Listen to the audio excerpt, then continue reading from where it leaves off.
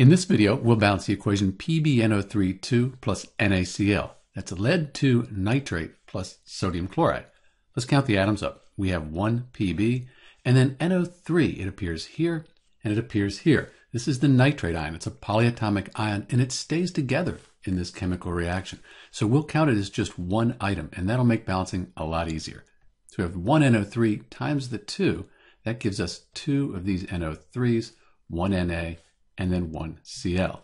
On the product side, we have one Pb, NO3, we have just the one here, Na, we have one, and Cl, we have two. So everything's okay except the Cls and the nitrate, the NO3.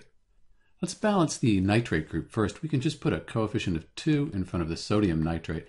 We have 1 times 2 for the Na. That gives us two of those, and then one of the nitrate ions times the 2 that gives us 2. So we've balanced the NO3, the nitrates. Let's fix the Na. We need 2, and we have 1. Put a coefficient of 2. So 1 times 2, that gives us 2 NAs. Those are balanced. The 2 applies to everything. 1 chlorine times the 2. That gives us 2 chlorines. So those are balanced, and we're done. This equation is balanced. For the nitrate group, since it stays together, we have nitrate group here and here, we can count that as one item, and then you can see that that makes the balancing a lot easier. This is Dr. B with the balanced equation for PbNO3 2 plus NaCl. Thanks for watching.